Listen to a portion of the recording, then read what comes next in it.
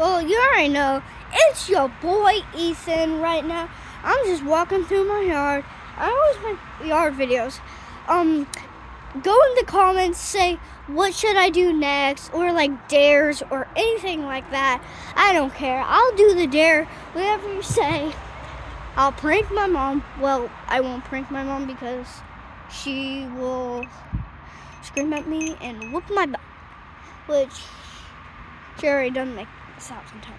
But anyways, it's about a drip, drop, drop, whatever, and you should subscribe because like I need those subscribers. Cameron, if you viewed the other video where I introduced my friend Cal, well, you should like to all my videos, even if you're Contarius, if you're watching this, please give me the respect that I'll